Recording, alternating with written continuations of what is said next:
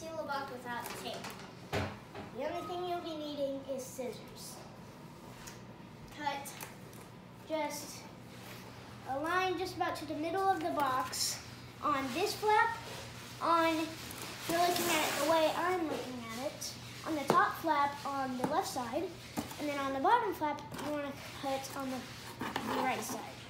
Directly across. And to seal it shut without tape, no nothing but scissors. Take these, take your flaps, lift the, the one on the right side up, lift the one on the left, put that down, put the other one down. Okay. You want to put that right there, you want to fold that down, and fold the other one down. And. Awesome. And it will stay sealed without any tape at all. Very nice.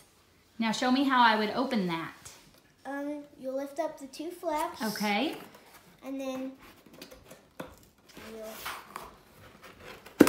Oh, yeah. that and that. Ta-da! Very nice.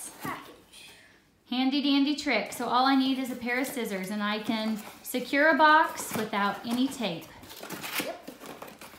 Awesome. Thanks. You're welcome. Bye.